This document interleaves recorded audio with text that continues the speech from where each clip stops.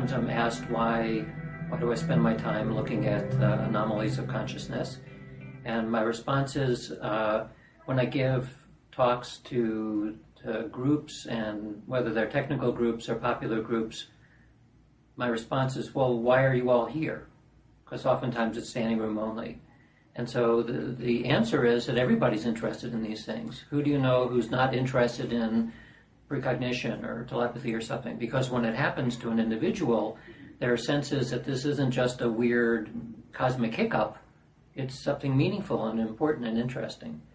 So I decided that of the variety of things that I could study, this was something that was personally meaningful and, and interesting. So why wouldn't I study it?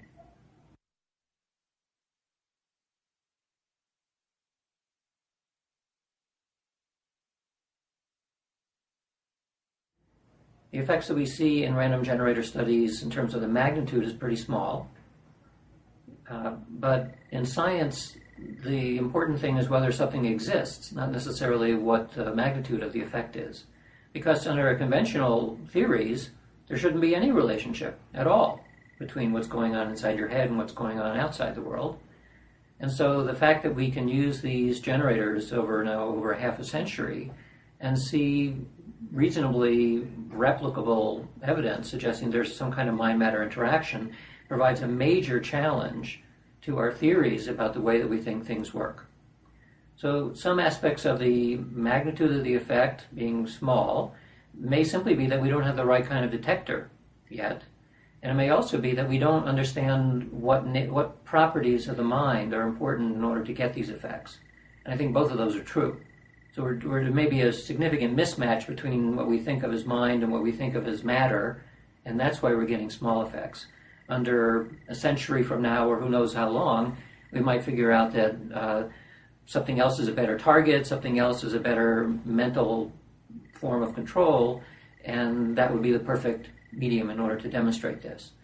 We might discover, for example, that the best possible mind matter interaction that we can demonstrate is me doing this because we still don't com- com- understand yet why my thought, my intention, can be translated into that, but it's very reliable.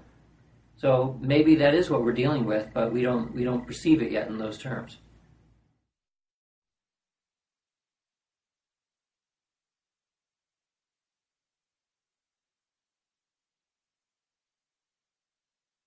One of the inspirations for experiments in, in psi research is to listen carefully to what people report in their daily life.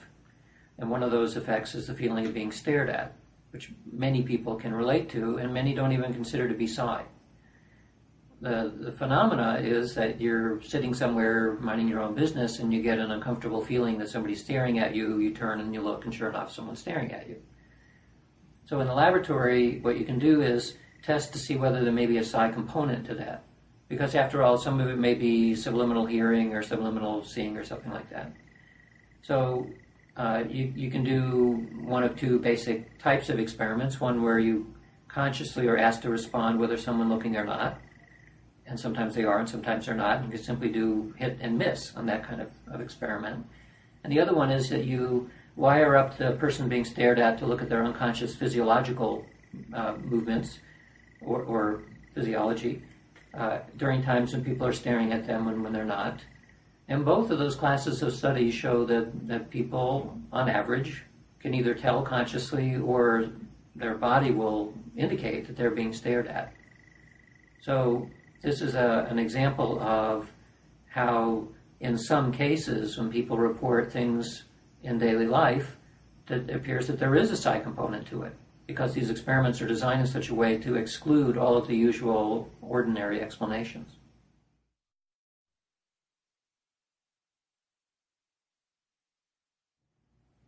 So one could say, if you look at the preponderance of the evidence in different classes of testing psi phenomena, that it's proven. I wouldn't actually say that. I would say that in, in science, the idea is not so much proof, but degrees of confidence. So what, we, what I can say, what I'm comfortable saying, is that the degree of confidence that they have that some of these phenomena are real some of the time is extremely high. So it's it's it's like proof, except proof means absolute 100%, and that's only true for alcohol. So why then is this not generally recognized? Well, part of the reason is that science is fractured into so many different disciplines that no scientist working in their own discipline is, is expected to know what's happening even in, an adjacent discipline. You just don't know. So you can't blame somebody for thinking that what they heard in college or something that there's nothing to it, nothing to pay attention to. They will simply accept that without actually looking into the data.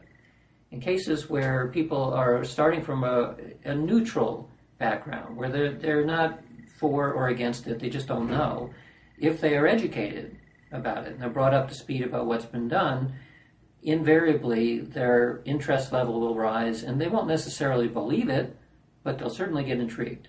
Because in most cases, as I said, they're, they're simply unaware that there's the data there. A second reason is that uh, you find peop- some people who are very vocally against it. In most cases, there too, they actually don't know the data. Their emotional response is predicated on a belief, which is not true, but nevertheless a belief that if those things were true, then everything I know must be false. And of course, that's going to create a big emotional response. And it doesn't, you can't ra- rationally argue with such people because they're not coming from a rational base. And a third case is that someone may not be very emotional about it, but they may actually believe that the world works a certain way, and it's inculcated by their profession. So, for example, neuroscientists working on cognition in the brain, they see every day in their work, and it's, it's repeated from all of their, their colleagues and themselves, that you think certain thoughts and certain areas of the brain light up, and fait accompli. There, there it is. There's the correlations we're looking for. So all that's left is a little tiny mystery in how these correlates are turned into causation. This is probably pretty standard among many neuroscientists today. The problem is that that little tiny bit left over on how you turn the correlates into causation, nobody has any idea how that actually works. And if then they paid attention to this challenging data, which suggests that a lot of the brain stuff is actually correct. It's not completely correct. It requires a slight extension, which means that something else about consciousness is going on, which doesn't either, it actually may require the brain. We don't know that yet, but at least it's not locked in there. It also has effects that, that seem to spill out in some way. So, what I found is when I present this kind of data to neuroscientists, even if they're open to the idea, they'll, just, they'll be skeptical, which is fine, but they, they will say, well, this probably isn't true because it doesn't match what I know about physics. But they don't know about physics. I mean, they even admit it. They don't understand enough about physics to know that, but they somehow feel in, intuitively that it doesn't match physics. And then I'll talk to physicists who will say, well, it's allowed by physics, but that doesn't match what I know about the neurosciences or biology. Well, they don't know about neurosciences and biology. And this, this is, again, part of the problem of the fracturing of disciplines that we, we can spend a lot of time working on our own discipline, and, and realistically today, for a working scientist knows a huge amount in very great depth about a very tiny slice. And so, in a sense, of what I've become is a generalist. I know a fair amount about psi, but I've also had to learn at least a little bit about most other disciplines. So I, I have some sense about at least what are the what's the dogma and the doctrines in various disciplines. And when you do that, you take this, this high level approach across the board, you find that actually there's no incompatibilities at all. There are some challenges to existing assumptions, but they're just assumptions. Everything in science is an assumption. So some of the resistance is emotional, some of it is ignorance, uh, some of it is legitimate, that there, there are good questions about, well, why do you think this and why do you think that, and there's answers to those, but nevertheless, uh, it's not as though the psi business is completely wrapped up. There's many more questions and answers. Uh, so that that's one of the reasons why it's not better accepted. Oh, and then there's another reason.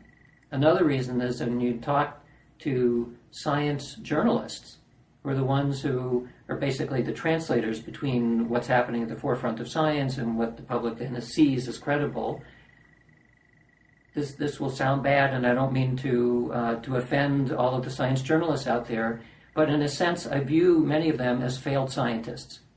They're they're doing the translation; they know enough about it to be able to echo it, but they don't actually know the way the science works. Because if they did, and they actually spent time to learn about what they're talking about when they're talking about psi, they wouldn't be reporting the way that they do. So the, one of the values of an interview like what you're doing is uh, that if you talk to people who actually do know something about the topic, you're very likely to give a different response than if you talk to somebody who has an agenda in mind to say, well, no, there's nothing to it.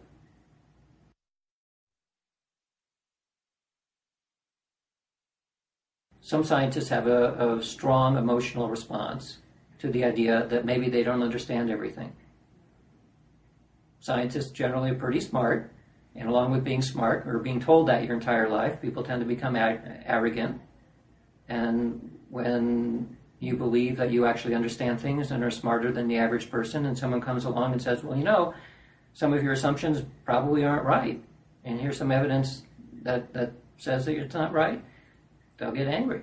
They'll, they'll respond as though they're being attacked. And so there, there's the emotional response. So when, when I gave my talk at Google, I, I do it the way I usually try to, which is I, uh, I'm interested in this, spending my time doing this, but I'm not all that emotional about it you know, it, it's interesting, it's exciting. That's where my emotion comes from. So when I present the, the results of these things, I present it in as calm and data driven way as I possibly can. And I've heard every criticism a million times, so I, already, I know what people are going to ask if they're coming from a skeptical viewpoint. Uh, sometimes it's annoying because the questions are displaying ignorance, and I thought I just responded to, gave a bunch of data which responds to something, but it the question will indicate that they, they don't they didn't hear it somehow or some other reason. So it can be annoying, but nevertheless I understand it. So the taboo persists because science, like any other human enterprise, is built on certain beliefs. And when a belief is challenged, at least in public, you, you can't do that. I hear again and again from many colleagues that they're, they're fascinated by this stuff and they know they can't talk about it because if they do, their their colleagues will roll their eyes and they won't get promoted or graduate or something. So you learn very quickly in the academic world that it's simply dangerous to talk about these things. So people don't. You've done some very interesting work demonstrating an effect often referred to as presentiment. Uh, can you briefly describe a classic presentiment experiment, its replications, and recent developments in the field, i.e., the work of Daryl Bem? Presentiment is is a word I coined. Actually, I didn't coin it. The, the word has been around forever, but I, I use that word instead of precognition because uh, a lot of psi effects appear to, to be in the unconscious. And so we get fairly small, although reliable effect sizes when asking people to consciously get something. But I figured that uh, if we have ways of measuring what's happening unconsciously, we might get a bigger effect. So for precog- precognition, say an unconscious version of precognition would be to effectively put somebody on a lie detector and ask them questions and see if their body knows something that their mind doesn't know yet. So this came about partially as a result of a story that a colleague told me where he was a hunter and he was cleaning pistols in preparation for going on a hunting trip two weeks later. And he took all the bullets out of the pistols, and then he's uh, putting bullets back into his six shot revolver, double action six shot revolver, which means that you pull the trigger, it rotates the cylinder, pulls the hammer back, and then it, it hits. So all in one motion, the double action being rotating and hammer pull. So he puts six bullets out, cleans the gun, puts the six bullets in one, two, three, four, five, and is putting in the sixth bullet and gets a really bad feeling. Doesn't like putting in that bullet. So he pays attention to his gut feeling and he doesn't put the bullet in. So he leaves it aside. And he puts the hammer over uh, the fifth chamber or the fourth chamber so that that's empty. So in case it gets jostled, it won't fire. And the next one's empty too. That's the bullet he didn't put in. So now he's uh, two weeks later, and he's out in the hunting lodge, and after a day of hunting, uh, his pistols were not used. They'd used rifles for something, and they did what what no one should do when there are guns around. They were all drinking. So he and his buddies are there. They're all getting somewhat drunk, and two of them get into a fight. One of them then accosts the other, the guy who's accosted picks up my friend's gun, who happens to be there. It's loaded, it's ready to go, picks it up, points it point blank at the guy who's coming at him, pulls the trigger. Hammer goes back, cylinder turns, and it goes click rather than bang. Actually, I, I said that slightly wrong. It wasn't that he had shot at the guy, but my friend had tried to intervene by getting in between them and had his own gun pointing right at his head, click. So at that moment, he knew where the presentiment came from. The bad feeling came from his recognition at that moment that if that he was about to be shot. And at that at that second, he didn't realize that that the bullet was taken out. But as soon as that episode was over, he realized he saved his life by paying attention to this bad feeling. So I thought, well, that would be an interesting experiment to replicate in the laboratory. But you can't put people at actual threat. So what you need to do is to have something that is emotional to, and then compare it with something that is calm in your future. And because you're doing this in a laboratory context, you can't do it two weeks in advance. You have to do it seconds in advance and do it again and again. So that's how the idea came about, where you sit somebody down in front of a computer and you measure some kind of autonomic nervous system response, like heart rate or skin conductance. And then you present them a series of pictures, some of which would be very calm and others would be very emotional. And see whether or not the body somehow knows that you unconsciously know what you're about to see. And so the emotional pictures have to be extremely emotional. It's the laboratory equivalent of having a gun shoved in your face and going click.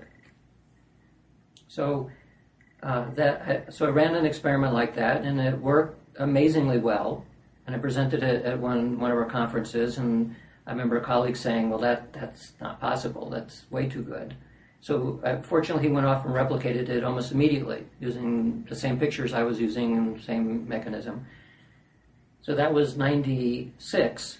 And from then till now, there have been 38 experiments of that type using physiological measures, and uh, something like 15 laboratories, many countries, and overall the results are extremely strong in the direction that I had originally seen.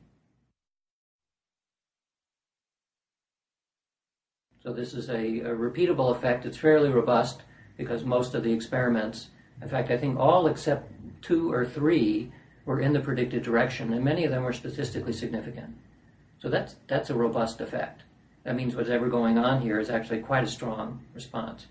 And I think be- partially because it is a mimic of what happens in the real world. In addition, uh, it's using unconscious measures as, as the indicator. You're not asking somebody to guess what's happening. In fact, if you ask people what they think is going to come up, they don't know. Some people who are very sensitive to their own physiological movements, their viscera, they do feel that their heart starts racing, they feel sweaty or something just before the very emotional picture, but most people don't feel that. So that's that's a psychophysiological version of this type of experiment. A new class of experiments now, which might be called implicit decision making, although there are other varieties of this, they're taking standard experiments in, in cognitive psychology and in social psychology which follow a cause and effect sequence and reversing it in time. So one that Daryl Bem has is making popular now is one of the nine experiments that he's recently published is a reversal of the mere exposure effect.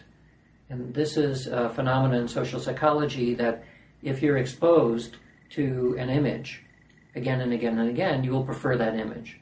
So the way that the usual experiment works is that you uh, you're asked to look at two pictures, both of which are equally likable, and simply decide which one do you like. And you're forced to make a decision. So normally you'd expect 50%, people will prefer one versus the other. And then, in fact, if there's no priming, then you will get 50%. But if you prime them, subliminally or liminally, subliminally would be you're looking at the screen, you're seeing flashes of stuff that you don't know what it is, but it is in fact one of those two pictures, that you will then look at the two pictures and say, well, I prefer this one but that's the one you were primed subliminally to select. And so that's the mere exposure effect. Mere exposure meaning that you were just merely exposed to it and that, that causes you to like it. So Daryl took that idea and reversed it in time, where you start with, do you like this or do you like that? With no priming.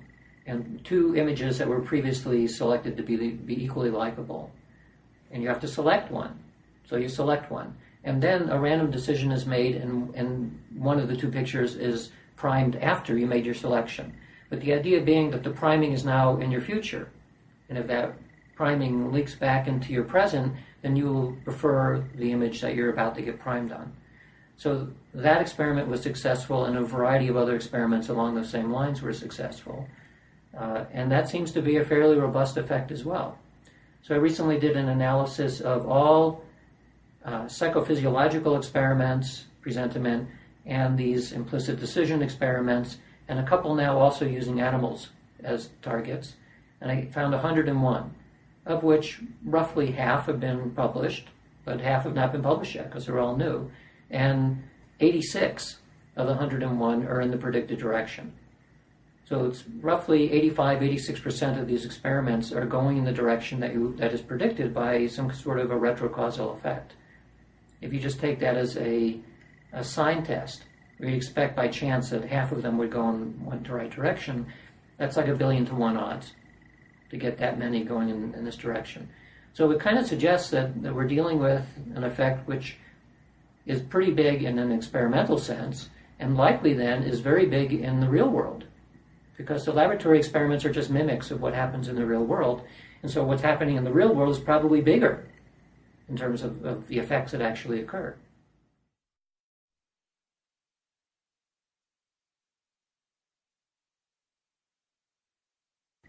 Most of the presentiments are designed in such a way so that you get an actual future. You see one future event. It can be redesigned, and I've done this, and there have been a few other people who have tried this as well, where you present that at the time that you're making a decision or you're waiting for a picture to appear or something like that, that the future is not determined by, by definition in the experiment, but the future is probabilistic between two targets. So we could have a very emotional target or a very calm target having different probabilities. So in one version of this, you can have an emotional target will show up at 10% probability and a calm target with 90% probability, and then a random decision is made and one of the two is shown. And so the interesting thing here is not when the 90% probability event occurs, because that's kind of like the actual future, or the future that was going to happen anyway, probabilistically. But what happens when the low probability future occurs? Because then that, that allows you to look at the mismatch between the likely thing that's going to happen versus the actual thing that happens. And it allows you to then discriminate on what it is that precognition or presentiment is actually looking at. If it's looking in the clairvoyant present at probabilities or tendencies of events, then you will tend to respond to the high probability target. But if you're looking at the thing that's actually going to occur independent of its a priori probability, then you will describe the low probability but actual future. So when I've done that experiment, uh, the one time I did it, I got evidence that uh, people were tracking the more probable future, the more probable in the present future, independent of whether it actually occurred or not. Another time when I did it, using that was using conscious responses. And when another time I used unconscious responses, and that one showed that people were responding to the actual future independent of its a priori probability, including low probabilities. So I, we have ambiguous results. This is a, a, not resolved question, but at least the question can be studied. And so at this point, we don't really know yet whether people are responding to the probable present or to the actual future. Now, with arguably sufficient evidence for the existence of psi in some cases, where do you see the future of this research? Where do we go from now? an argument could be made that the one way of advancing the field now in psi research uh, is that we, we need radical new theories to help push radical new experiments. So that's one approach, and that's viable. But I think a much more important approach is a change in what the scientific world believes is, is conceivable. Because one of the good things about science is that when you put the engine of big science onto a problem, if it's at all solvable, and you throw a lot of very bright people at it and equipment and all the rest of it, eventually things can get done. All kinds of things can be solved. We're dealing here with a problem which is probably more difficult than any problem that, that science has ever faced because it involves in some way something to do with the subjective state, consciousness, subjectivity, all that stuff, which is a, a huge mystery. So while the, the approach in the past has been that you, you'd have maverick scientists who are just interested in this and doing the best that they can, the rate of progress is very slow.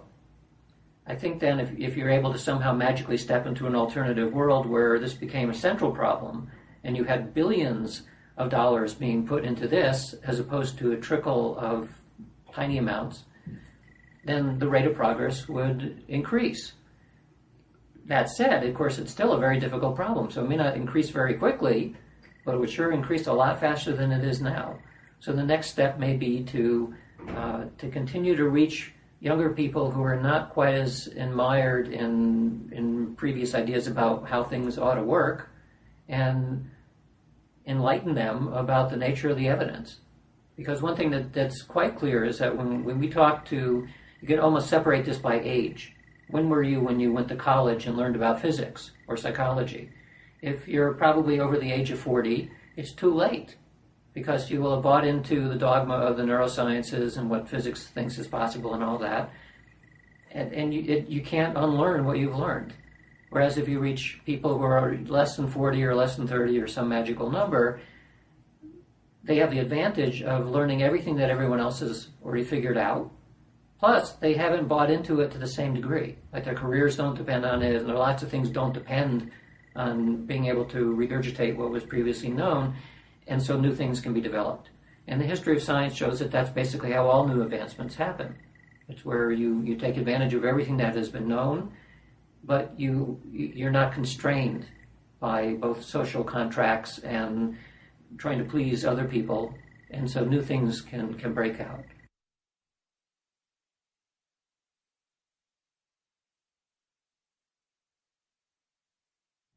I, I, tend not to pay too much attention to what philosophers say in the philosophy of mind, partially because my brain doesn't go there. I, I find it difficult to think about philosophy too deeply.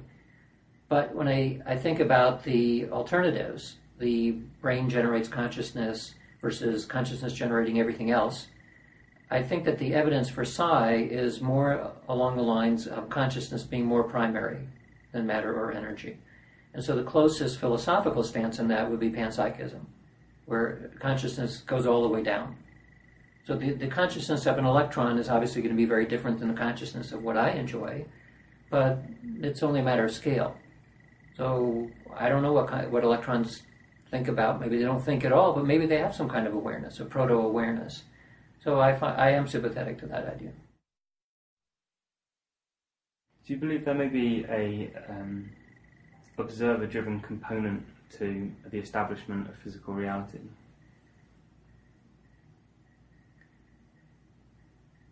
On alternate Tuesdays, I can accept the idea that consciousness is related to how physical reality manifests. Uh, but during the rest of the week, I, I really don't know.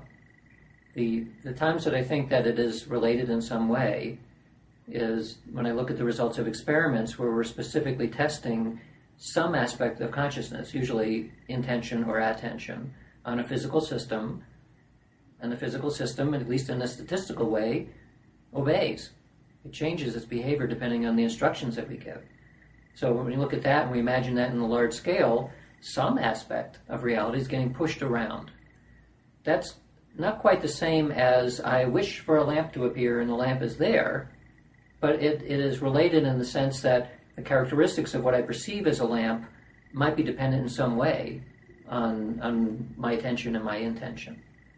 So I think I believe that when we leave the room that the lamp will still be there, uh, in which case consciousness is not literally creating it, but it is related to it in some way. And so this is again, it's a little bit like the distinction between a correlation and a causation.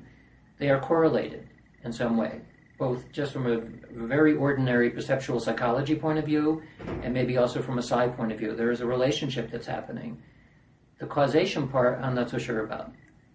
And so I, am not willing to say where the arrow of, of causation is going because I don't know. But the relationship, I'm pretty sure that there is one. Thanks very much. You're welcome.